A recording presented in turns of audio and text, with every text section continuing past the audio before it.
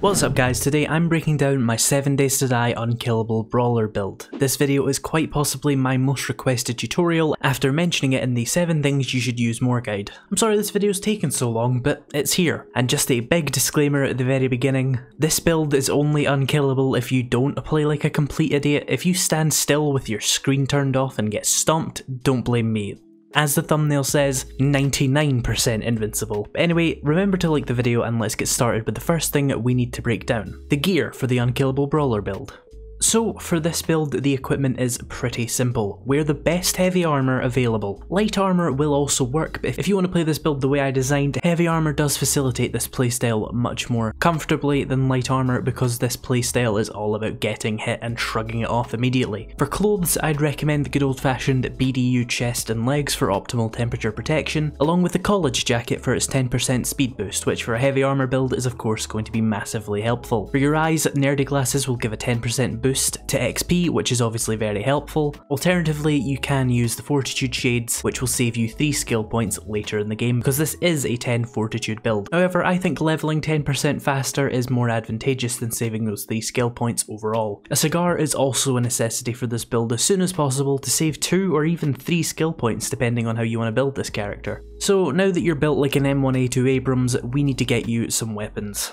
Naturally, as you would expect, the primary weapon of this build is going to be the best knuckle weapons you can find at any given moment. Ideally, you'll want those level 6 steel knuckles as soon as possible. In terms of weapon mods on this build, I'd highly recommend either the ergonomic grip for reduced stamina usage, or the fortifying grip for a little bit of extra health regen in those dangerous times where your health falls below 50%. I personally favour the ergonomic grip because I rarely fall under that 50% HP threshold to activate the fortifying grip's effects anyway. You'll also want to get your hands on a rad remover because this build does not do the most damage per hit. Instead, you'll be relying on a high DPS from multiple attacks, and a rad remover will stop those pesky radiated zombies out healing your DPS. Also, a weighted head mod will give you a chance to stun and slow enemies. Finally, a diamond tip blade mod will increase your durability massively. Steel knuckles are already very durable, However, a diamond tip blade mod will cut down even more on repair kit usage. Now of course, this build isn't necessarily banned from using guns just because its primary weapon is knuckles. So if you want to use guns, my recommendation would be machine guns because this build, again, is primarily a fortitude build. I'd recommend using the M60 as soon as available for Horde Nights, but for more general use, you might find the tactical assault rifle more appropriate. You absolutely don't need guns for this build at all, but having a reliable ranged weapon will make the build that much more unkillable of course. And obviously, brawlers will struggle with those highly armoured opponents and vultures, so keeping an M60 with some AP ammo around is never a bad idea. Before someone says anything, yes, armour piercing ammo and the penetrator perk both do correctly function. I had a lot of comments on the 7 things you should use more video saying that I was wrong for suggesting it because they thought that the AP ammo didn't work because 8 months ago they saw someone test it and apparently the game doesn't receive any updates. That aside, now you all know armour penetrating ammo and the penetrator perk work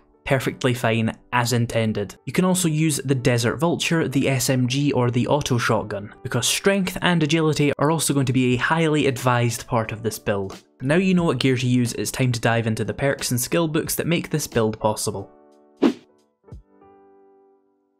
I'm going to divide this section into four layers of perks. The first layer is going to be the perks that are absolutely needed for this build to work. The next layer will be perks I highly recommend to increase the power and fun of the playstyle. The next layer is going to be the perks that I think are a good addition that you should definitely get if you find yourself with spare skill points. And finally, I'm going to go over a few perks you may expect for this build that are actually detrimental or not particularly useful. Let's begin with those necessary perks. The first perks you'll want are the Brawler, and if you're using guns, the Machine Gunner. These are of course the perks that affect the damage of the primary weapons of the build, which makes them pretty necessary for long-term success. Healing Factor and Iron Gut are also needed for this build to really work correctly. Some may criticise the Healing Factor perk as it is considered a noob trap perk, however I will be showing you how to use the Healing Factor perk correctly without destroying your character build, and I'll also explain why it's a trap perk for those that don't know why later in the video. Iron Gut is going to be needed to extend the duration of your consumables, particularly beer, by 50% as this build will make extensive use of consumables. The last two necessary perks are Sexual Tyrannosaurus and Flurry of Blows. Sexual Tyrannosaurus keeps the build from running out of stamina which allows you to keep fighting for a longer time. Flurry of Blows increases the attack speed with clubs brawling, knives and batons by 25%, which essentially increases the DPS of the build by about 25%. The stamina recharge bonus of the final rank will stack with the stamina recharge bonus of the Sexual Tyrannosaurus perk, allowing you to fight infinitely without running out of stamina assuming you can get a few kills. Being able to fight infinitely with this build is what allows you to heal infinitely, which makes it unkillable, with the final and most vital part of this build, the Bar Brawling Skillbook series. Rank 1 will increase your brawling damage by 10%, Rank 2 adds the ability to do sprinting power attacks which can knock over opponents, Rank 3 increases your damage by 5% per kill up to 15% temporarily, Book 4 increases your damage against stunned opponents by 20%, and then the key in this series is number 5, restore 1 health point for every enemy you hit. This book is pure free healing and is the foundation of this playstyle. More on that later. Number 6 increases your movement speed by 10% and attack speed by 20% after you take a hit. As I said, you need heavy armor because you are going to want to get hit with this playstyle to play it optimally. Number 7 is also a fantastic effect, removing the blur effect of beer, making beer much easier to use. The completion bonus of this book is called the 7th Curse, increasing the damage of every 7th hit by 300%. The 7th Curse is fantastic for dealing with high armor and high health enemies. That said, your M60 is going to be a lot better at that if you are choosing to use gun. So what about the perks I just highly recommend? Well my first recommendation would be living off the land. This makes farming much easier and as you will see later on, farming will be a significant part of this build's strategy. Along with that, you'll want the Huntsman perk for extra rotten flesh and meat. Then, once you have all the crops and meat you'll want for this build, it would be smart to get a few ranks of the Master Chef perk. Food will also be a big part of this playstyle, I'll explain this all later in the video. The Heavy Armor perk is also a good pick for this build because using less stamina and moving faster is always useful. Next we have the perks that I think are just a good idea to grab. We have Miner 69er, Mother Lode and Parkour. These perks will be fully purchasable with the attribute distribution we'll be going for and are always beneficial. However, the perks you should avoid are anything outside of the strength, fortitude and agility trees. You don't want to stretch this build any further. But there are also three perks I think you should avoid even though they do fall under your perk distribution. Number one is going to be pain tolerance. To keep this video short, pain tolerance is incredibly misleading and doesn't work the way I imagine most of you think it does. Let's just say Pain Tolerance is a waste of 5 perk points for this build and move on. Also yes, I know I say perk weird, leave me alone. The next one is well insulated. Well insulated is an absolute waste for this build unless you plan on playing on an extreme temperature map. Iron Gut is generally better at what well insulated actually does for your character build, but it also has better effects, so just go for Iron Gut in this instance. And the last perk is of course Pack Mule. Don't. Just use the pocket mods. You don't have the excess points for it on this build unless you want to play out to level 300. I'd love to go in depth about why these perks are bad in general, but this isn't really the video to do it, it's probably already going to be too long. That was a lot of information, I'm sorry. Let's slow down and cover the playstyle of the build. Hopefully there's a lot less numbers involved. As I said earlier, you are going to want to do a lot of farming and hunting with this build. Food will be a big part of why you're so hard to kill. But what should you grow? Well, aloe, corn, potatoes, mushroom and hops are going to be great for this build. You'll want aloe for the first aid bandages, corn and potatoes for meat stew, meat stew of course being the food of choice for this build. Mushrooms you should grow because they don't require farm plots so you might as well just grow them if you find them. And finally, hops are crafted into beer, and beer is the primary consumable that this build will be abusing to decimate anything that looks at you funny. Beer is extremely useful for any brawling build because it gives you plus 40% stamina regen, plus 300% brawling damage, and a complete resistance to stuns which is another reason you won't be needing pain tolerance for this build. And yes, this food-based playstyle is necessary for this character build because it relies so heavily on healing factor to be such an unstoppable force. Earlier in the video I did mention the healing factor perk can be a trap for new players, and this is why.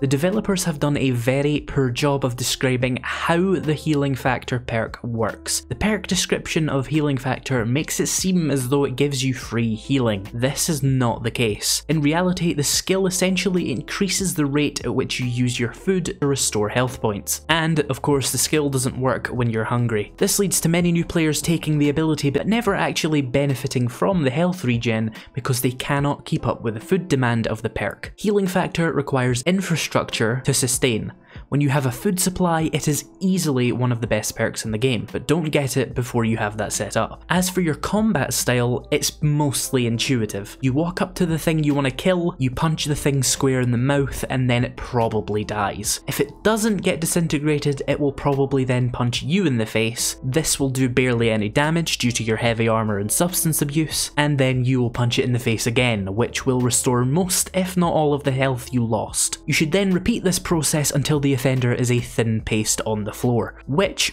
once achieved, will restore your stamina. Then you want to repeat this process on every living and unliving being in an 8 kilometer radius until you are the last thing standing. On a more detailed level though, I'd recommend using light attacks when you want to restore health and build up your 7th curse combo. And on the 7th hit, use your power attack to send the enemy into the sun. A 7th curse, Brawler 5, 300% headshot damage, steel knuckled power attack whilst using beer is quite possibly the most devastating melee attack in 7 Days to Die. Now there's a couple of disclaimers I'd like to give out. This build can be frustrating on higher difficulties in the early game. The easiest way to avoid this issue of course is to just do a normal build and then use a forgetting elixir to transition into this build, switching out once you have enough skill books and perk points to make it work. But if you want to stick to that playstyle from the beginning I would recommend skipping the leather knuckle wraps and using a wooden club or stone sledgehammer until you can find those iron knuckles. But feel free to just punch your way through the entire apocalypse, who am I to stop you? The cool thing about this build though is that most melee builds can easily transition into it. You will have to sacrifice some damage in the early game and hold off until you get those knuckles and not put any points into clubs or sledgehammers because every perk point is needed for this playstyle as it requires 10 fortitude, 6 strength with the cigar that makes 7 and either 7 or 8 agility depending on whether or not you want the parkour perk. I really struggled finding a balance of perks for this build, just getting the necessary perks requires about 51 perk points and on this build getting all the recommended skills would need to be at least level 100. Some of you will just play until then anyway, but I know for a lot of you that playthrough might not last that long. Just have fun with it and consider this video as a comprehensive guide on building your very own variations